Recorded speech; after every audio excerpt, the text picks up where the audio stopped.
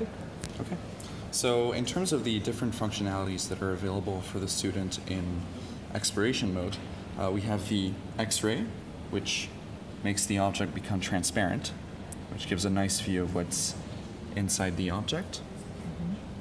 So for a for another view of what's inside, we have the explode mode here, which when I click on that, my whole object explodes out and I can see each part individually.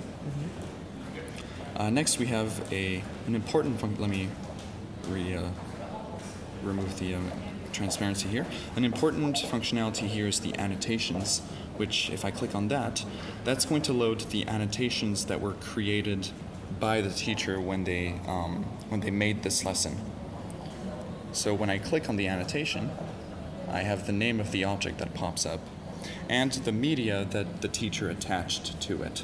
So the teacher, in this case, attached an audio file and a YouTube video. So if I click on the audio file, the, the sound starts playing. Frogs have a highly developed And if I click on the YouTube video, the YouTube video is going to load and start playing as well. And it will be overlaid on top of the on the on top of the table like that. So if I move the marker, the video moves. Faster? Alright. So I can also move the object around.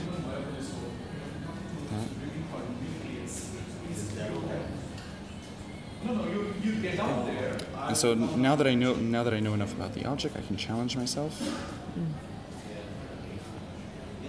Go into the build mode. Right. So here I have to reassemble my object. So bring each part where it belongs between uh, there is a passage. You just walk down. Don't go below. There's a passage. You walk down that stretch. Dance. Skip the challenge. Ah.